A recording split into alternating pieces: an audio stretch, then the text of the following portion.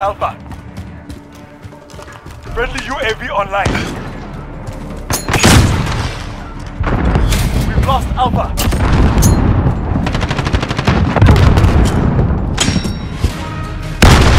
A brutal victory. I expect no less.